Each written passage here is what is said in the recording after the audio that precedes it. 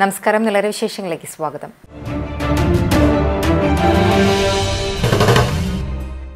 Pattambi G M L P സ്കൂളിൽ വെച്ച് ശനിയാഴ്ച നാനൂറ്റി പതിനാറ് പേർക്ക് ആന്റിജൻ ടെസ്റ്റ് നടത്തി. ഇതിൽ നൂറ്റിയേഴ് പേർക്ക് കോവിഡ് സ്ഥിരീകരിച്ചു. പട്ടാമ്പി പതിനെട്ട് ഓങ്ങല്ലൂർ പതിനെട്ട് മുതുതല പതിനൊന്ന് പരുതൂർ രണ്ട് തിരുവേഗപ്പുറ രണ്ട് നെല്ലായി രണ്ട് തൃത്താല ഒൻപത് കപ്പൂർ മൂന്ന് നാഗലശ്ശേരി ഇരുപത് തിരുമറ്റക്കോട് അഞ്ച് വല്ലപ്പുഴ അഞ്ച് വിളയൂർ എട്ട് ഷൊർണൂർ നാല് സ്വദേശികളാണ്. ഞായറാഴ്ച Pattambi G M L P സ്കൂളിൽ ടെസ്റ്റ് നടക്കും. ഇതുവരെയും പങ്കെടുക്കാത്തവരും ആരോഗ്യ പ്രവർത്തകർ നിർദ്ദേശിക്കുന്നവരും ഞായറാഴ്ച ടെസ്റ്റിൽ പങ്കെടുക്കണമെന്ന് നഗരസഭാ chairman K S B A Thangal അഭ്യർത്ഥിച്ചു. തൃത്താല പഞ്ചായത്തിൽ പതിനൊന്ന് പേർക്ക് കോവിഡ് സ്ഥിരീകരിച്ചു. വാർഡ് ഏഴിൽ രണ്ട് പേർക്കും ആറാം വാർഡിൽ എട്ട് പേർക്കും എട്ടാം വാർഡിൽ ഒരാൾക്കുമാണ് രോഗം സ്ഥിരീകരിച്ചത്. നാഗലശ്ശേരി പഞ്ചായത്തിൽ വെള്ളിയാഴ്ച ശ്രീപതി കോളേജിൽ നടന്ന പരിശോധനയിൽ മുപ്പത്തിയൊമ്പത് പേർക്കാണ് രോഗബാധ സ്ഥിരീകരിച്ചത്. നൂറ്റി എഴുപത്തിരണ്ട് പേരെയാണ് പരിശോധനകൾക്ക് വിധേയരാക്കിയത്.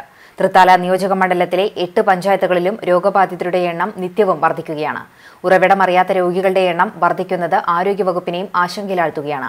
നിലവിൽ പഞ്ചായത്തുകളിൽ സജ്ജമാക്കിയ സി എഫ് എൽ ടി സികൾ അടിയന്തരമായി തുറക്കണമെന്നാണ് നാട്ടുകാരുടെ ആവശ്യം. എയ്യാൽ ചിറ്റിലങ്ങാട് വെച്ച് C P M Puthussery branch secretary P U സനൂപിനെ കുത്തിക്കൊലപ്പെടുത്തിയ സംഭവത്തിൽ പ്രതികളുമായി പോലീസ് തെളിവെടുപ്പ് നടത്തി. പ്രതികൾ കൊലപാതകത്തിന് ഉപയോഗിച്ച ആയുധങ്ങൾ പോലീസ് കണ്ടെടുത്തു.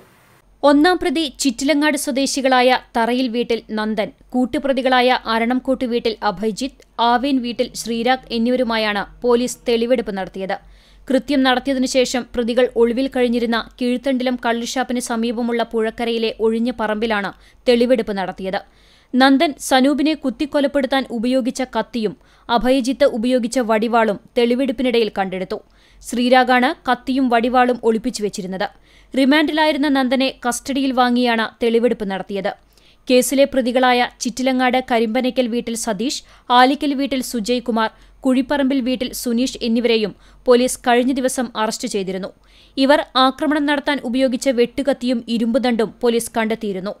ഒന്നാം പ്രതി നന്ദനും കൂട്ടുപ്രതി അഭയ്ജിത്തും കൊലപാതക ശ്രമം ദേഹോപദ്രവം ലഹരി വിൽപ്പന ഉൾപ്പെടെ നിരവധി കേസുകളിൽ പ്രതികളാണെന്നും പോലീസ് അറിയിച്ചു. A C P T S Sinoj Erumappetty inspector K K Bhupesh S I K Abdul Hakeem crime squad S ഐമാരായ K A Muhammad Ashraf P C Sunil S I Sanilkumar additional S I Moideenkutty എന്നിവർ അന്വേഷണ സംഘത്തിലുണ്ടായിരുന്നു CCTV Erumapetty ബ്യൂറോയ്ക്കൊപ്പം വേലൂർ ബ്യൂറോയും. രാജ്യത്ത് Covid പത്തൊമ്പത് സ്ഥിരീകരിച്ചവരുടെ എണ്ണം അറുപത്തിയൊൻപത് ലക്ഷം കടന്നു. കഴിഞ്ഞ ഇരുപത്തിനാല് മണിക്കൂറിനിടെ എഴുപത്തി മൂവായിരത്തി ഇരുന്നൂറ്റി എഴുപത്തിരണ്ട് പേർക്കാണ് രോഗം ബാധിച്ചത്. ഇതോടെ ആകെ രോഗികളുടെ എണ്ണം അറുപത്തിയൊൻപത് ലക്ഷത്തി എഴുപത്തിയൊൻപതിനായിരത്തി നാനൂറ്റി ഇരുപത്തിനാലായി ഉയർന്നു. ഇതിൽ എട്ട് ലക്ഷത്തി എൺപത്തി മൂവായിരത്തി ഒരുന്നൂറ്റി എൺപത്തി അഞ്ച് പേർ നിലവിൽ ചികിത്സയിൽ കഴിയുന്നുണ്ട്. അൻപത്തിയൊൻപത് ലക്ഷത്തി എൺപത്തി എട്ടായിരത്തി എണ്ണൂറ്റി ഇരുപത്തി മൂന്ന് പേർ രോഗമുക്തി നേടി. തൊള്ളായിരത്തി ഇരുപത്തിയാറ് പേരാണ് കഴിഞ്ഞ ഇരുപത്തിനാല് മണിക്കൂറിനിടെ രോഗം ബാധിച്ച് മരിച്ചത്. ഇതോടെ രാജ്യത്തെ ആകെ കോവിഡ് മരണം ഒരു ലക്ഷത്തി ഏഴായിരത്തി നാനൂറ്റി പതിനാറായി. ചേലക്കര നിയോജക മണ്ഡലത്തിൽ എം എൽ എയുടെ ആസ്തി വികസന ഫണ്ട് വിനിയോഗിച്ച് സ്ഥാപിച്ച എൽ ഇ ഡി ഹൈമാസ്റ്റ് ലൈറ്റിന്റെ നിയോജക മണ്ഡലതല ഉദ്ഘാടനം വാഴക്കോട് ജംഗ്ഷനിൽ സ്ഥാപിച്ച ഹൈമാസ്റ്റ് ലൈറ്റിന്റെ സ്വിച്ച് ഓൺ ചെയ്തുകൊണ്ട് M L A U R Pradeep നിർവഹിച്ചു. മുള്ളൂർക്കര വരവൂർ പാഞ്ഞാൾ ചേലക്കര വള്ളത്തോൾ നഗർ കൊണ്ടാഴി പഴയന്നൂർ തിരുവല്ലാമല എന്നീ എട്ട് പഞ്ചായത്തുകളിലെ ഇരുപത് സെന്ററുകളിലാണ് പന്ത്രണ്ട് മീറ്റർ ഉയരമുള്ളതും ഇരുന്നൂറ് വാട്ട്സിന്റെ ആറ് എൽ ഇ ഡി ബൾബുകൾ ഉള്ളതുമായ ഹൈമാസ്റ്റ് ലൈറ്റ് സ്ഥാപിച്ചത്. ഇതിനായി എം എൽ എയുടെ നിയോജക മണ്ഡലം ആസ്തി വികസന സ്കീം രണ്ടായിരത്തി പത്തൊൻപത് രണ്ടായിരത്തി ഇരുപതിൽ നിന്നും ഒന്നേ ദശാംശം ഒന്നേ മൂന്ന് കോടി രൂപ അനുവദിച്ചിട്ടുണ്ട്. പഞ്ചായത്തിലെ വിവിധ പ്രദേശങ്ങളിൽ നിന്നും ഹൈമാസ്റ്റ് ലൈറ്റുകൾ സ്ഥാപിക്കുന്നതിനുള്ള ആവശ്യം ഉയർന്നുവരുന്നത് കണക്കിലെടുത്ത് കൂടുതൽ സ്ഥലങ്ങളിൽ ഹൈമാസ്റ്റ് ലൈറ്റുകൾ സ്ഥാപിക്കാൻ നടപടി സ്വീകരിക്കുമെന്നും എം എൽ എ പറഞ്ഞു. യോഗത്തിൽ മുള്ളൂർക്കര ഗ്രാമപഞ്ചായത്ത് president M H Abdul Salam അധ്യക്ഷനായിരുന്നു. ഗ്രാമപഞ്ചായത്ത് മെമ്പർമാരായ മുസ്തഫ രതീഷ് എം ജി പ്രഭാകരൻ എന്നിവർ ആശംസകൾ അർപ്പിച്ച് സംസാരിച്ചു. പട്ടാമ്പി താലൂക്കിൽ സപ്ലൈകോയുടെ നേതൃത്വത്തിൽ നെല്ല് സംഭരണം ആരംഭിച്ചു. ഓങ്ങല്ലൂർ പഞ്ചായത്തിൽ നിന്നും നൂറ് ടൺ നെല്ലാണ് സംഭരിച്ചത്. പട്ടാമ്പി താലൂക്കിലെ വിവിധ പാടശേഖരങ്ങളിലെ ഒന്നാം വിള നെൽകൃഷിയിലെ നെല്ലാണ് സപ്ലൈകോയുടെ നേതൃത്വത്തിൽ സംഭരിക്കുന്നത്. പല പാടശേഖരങ്ങളിലെ കർഷകരും നെല്ല് സംഭരിക്കാനുള്ള കാലതാമസം മൂലം ദുരിതത്തിലായിരുന്നു. ഓങ്ങല്ലൂർ കൊണ്ടൂർക്കര പാമ്പാടി പാടശേഖരത്തിൽ നിന്നും നൂറ് ടണ്ണിലധികമാണ് നെല്ല് സംഭരിച്ചത്. ഇവിടെ ഒന്നാം വിളയിലെ നെല്ല് സംഭരണം വൈകിയപ്പോൾ കർഷകർ ആശയക്കുഴപ്പത്തിൽ ആയിരുന്നു. ഞങ്ങൾ പാമ്പാടി കൊണ്ടൂർക്കര രണ്ട് പാടശേഖരം കൂടി ഇവിടെ നൂറ്റി എഴുപതോളം കൃഷിക്കാരുണ്ട് കർഷകരുണ്ട്. കൂടുതലും പാട്ട കൃഷിക്കാരാണ്. പക്ഷേ രണ്ടാം വളം ഇറക്കാപ്പത്ത ഞാറൊക്കെ ആയിട്ട് നിൽക്കുക നിങ്ങൾ കണ്ടിട്ടുണ്ടാവും. പക്ഷേ വെള്ളമില്ലായിട്ട് ഇപ്പോൾ ഇന്നലെ മഴ പെയ്തുകൊണ്ടാണ് കുറേശ്ശെ വെള്ളമായത്. പമ്പിങ് തുടങ്ങിയിട്ട് ഇറിഗേഷൻ പമ്പിങ് തുടങ്ങിയിട്ട് ഇപ്പോൾ ഒരാഴ്ചയായി. പക്ഷേ വെള്ളം കൊണ്ട് വരുന്നില്ല. കനാൽ മൊത്തം തൂർന്ന് കിടക്കുകയാണ് പൊന്ത കെട്ടിയിട്ടും പുല്ലുമായിട്ട്. തൊഴിലുറപ്പേരെ ഇറക്കാമെന്ന് പറഞ്ഞിട്ട് മൂന്ന് മാസങ്ങളായി ഞങ്ങൾ അവരുടെ പിന്നാലെ പഞ്ചായത്തിലും ഇറിഗേഷന്റെ പിന്നാലെ നടക്കണു അപ്പോൾ ഇന്നാണ് നാലഞ്ച് തൊഴിലാളികൾ ഇറങ്ങിയിട്ടുണ്ടെന്ന്. പക്ഷേ അത് അവർ പണിയെടുത്ത് എത്തുമ്പോൾ ഒരു മാസങ്ങൾ പിടിക്കും തൊഴിലുറപ്പേര്.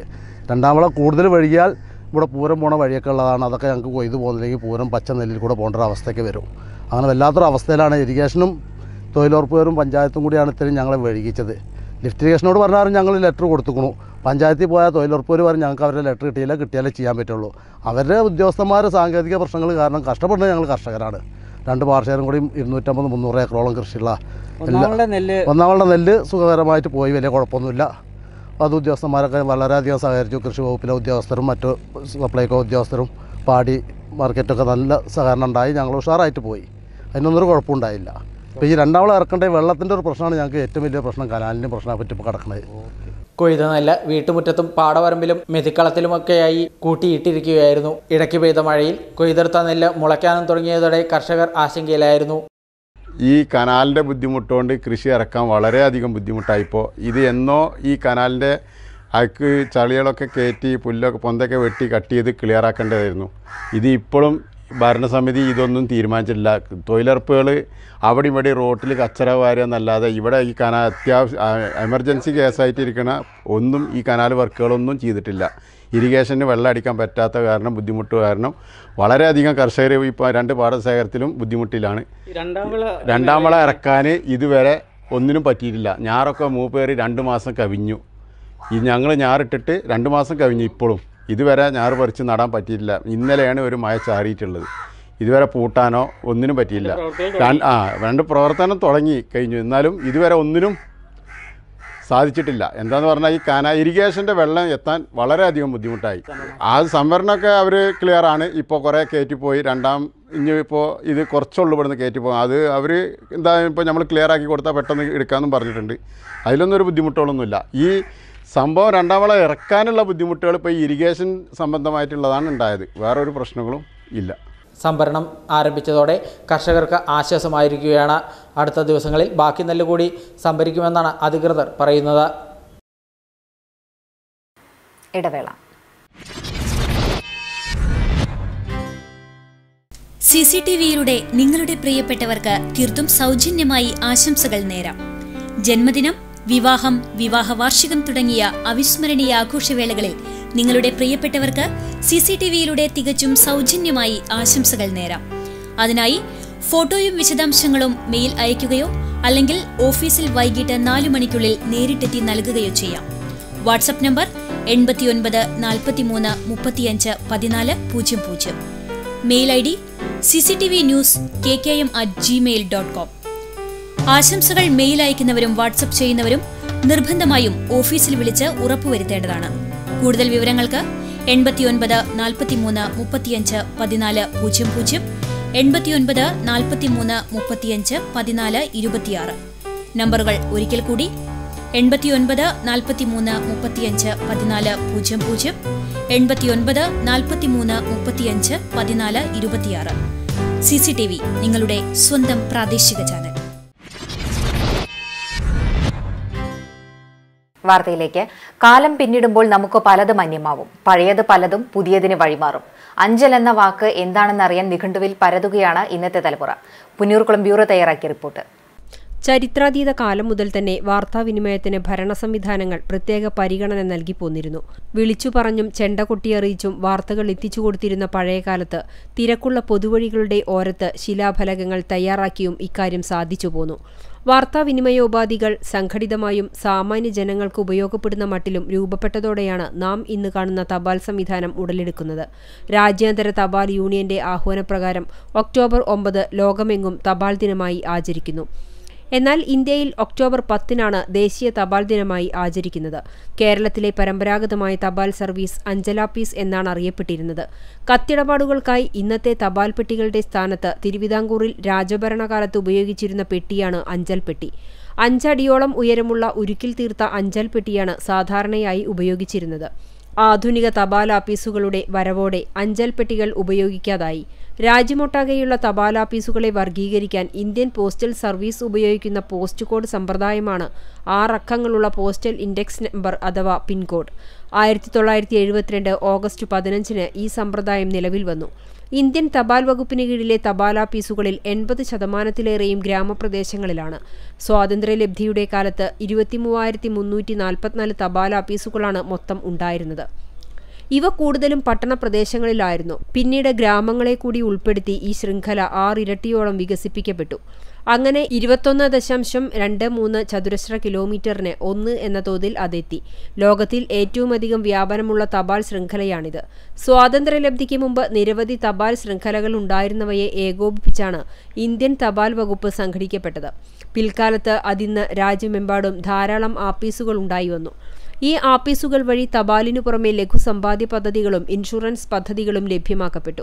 ഇപ്പോൾ മറ്റു ബാങ്കിംഗ് സേവനങ്ങളും രാജ്യത്തിന്റെ ഓരോ കോണിലും ഇതുവഴി ലഭ്യമാണ്. ഇന്ന് പോസ്റ്റ് ഓഫീസ് വഴി അനേകം സേവനങ്ങൾ ലഭ്യമാണ്. എല്ലാം വിരൽത്തുമ്പിലെത്തി നിൽക്കുന്ന ഈ ആധുനിക കാലഘട്ടത്തിൽ തപാലാപ്പീസുകളും മാറ്റത്തിന്റെ വഴിയിൽ തന്നെയാണ്. സിസിടിവി ന്യൂസ് പുന്നൂർകുളം തിരുവേഗപ്പുറ പഞ്ചായത്തിലെ പാടശേഖരങ്ങളിൽ പന്നിശല്യം രൂക്ഷം. ഇതിനെതിരെ കർഷകർ രംഗത്തിറങ്ങി. പട്ടാമ്പി താലൂക്കിലെ ഒട്ടുമിക്ക പഞ്ചായത്തുകളിലും കാട്ടുപന്നി ശല്യം മൂലം കർഷകർ ദുരിതത്തിലാണ്. ഓങ്ങല്ലൂർ കൊപ്പം പരുതൂർ തിരുവേഗപ്പുറ കൊപ്പം വിളയൂർ പഞ്ചായത്തുകളിലും പന്നിശല്യം രൂക്ഷമാണ്. തിരുവേപ്പുറ പഞ്ചായത്തിലെ നടുവട്ടം വിളത്തൂർ തുടങ്ങിയ ഭാഗങ്ങളിലെ പാടശേഖരങ്ങളിൽ എല്ലാം പന്നിശല്യം വ്യാപകമായിരിക്കുകയാണ്. ഇതിനു പുറമെ പറമ്പുകളിലും വീട്ടുവളപ്പുകളിലുമുള്ള വിളകളും പന്നികൾ വ്യാപകമായി നശിപ്പിക്കുകയാണ്. നെല്ല് തെങ്ങ് മറ്റു കിഴങ്ങ് വർഗങ്ങൾ എല്ലാം പന്നി നശിപ്പിക്കുന്നുണ്ട്. പന്നിശല്യത്തിന് പരിഹാരം ഉണ്ടാവാത്ത പക്ഷം കൃഷി ഉപേക്ഷിക്കേണ്ട അവസ്ഥയാണെന്നാണ് കർഷകരുടെ പരാതി. ഇതിന് പരിഹാരം കാണണമെന്നാവശ്യപ്പെട്ട് കർഷകരുടെ നേതൃത്വത്തിൽ കൃഷി ഓഫീസർ ഉൾപ്പെടെയുള്ളവർക്ക് പരാതി നൽകി. വിഷയം വനംവകുപ്പിന്റെ ശ്രദ്ധയിൽപ്പെടുത്താമെന്ന് കൃഷി ഓഫീസർ സൂര്യ കർഷകർക്ക് ഉറപ്പ് നൽകിയിട്ടുണ്ട്. കർഷകരുടെ നേതൃത്വത്തിൽ ഭീമഹർജി തയ്യാറാക്കി പന്നികളെ വെടിവെച്ച് കൊല്ലാൻ ആവശ്യമായ നടപടികൾ വേണമെന്ന ആവശ്യവും കർഷകർ ഉന്നയിക്കുന്നുണ്ട്. കർഷകരുടെ പരാതിയെ തുടർന്ന് പഞ്ചായത്തിന്റെ നേതൃത്വത്തിൽ ജില്ലാ കലക്ടർക്കും വനംവകുപ്പിനും നിവേദനം നൽകിയതായി panchayat vice president T P Keshavan പറഞ്ഞു.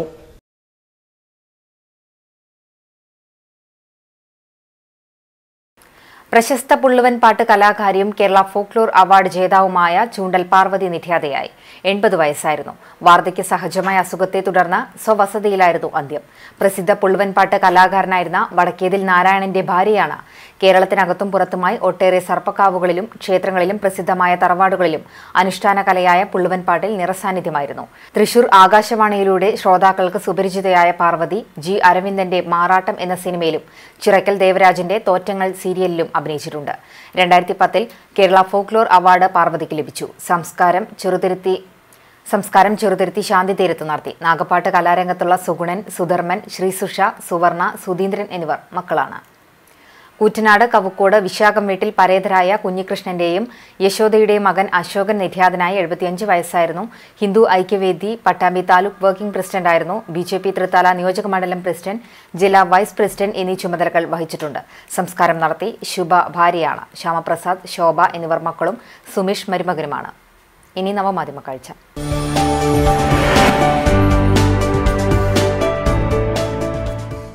പ്രത്യേകിച്ച് പണിയൊന്നുമില്ലാതെ വെറുതെ ഇരുന്ന ഭക്ഷണം കഴിക്കുക എന്ന് പറഞ്ഞാൽ അതൊരു ബോറടി തന്നെയാണ്. ആ ബോറടി മാറ്റാൻ എന്തെങ്കിലും വിനോദങ്ങളിൽ ഏർപ്പെടുന്നത് കൊണ്ട് തെറ്റൊന്നും പറയാനാകില്ല.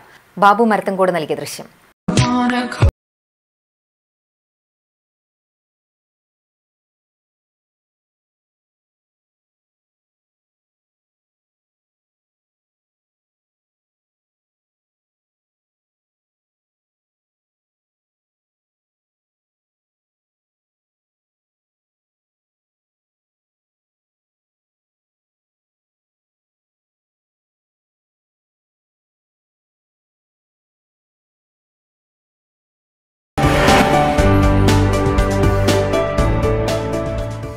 ഇതോടെ നിലയിൽ വിശേഷങ്ങൾ സമാപിക്കുന്നു. നമസ്കാരം.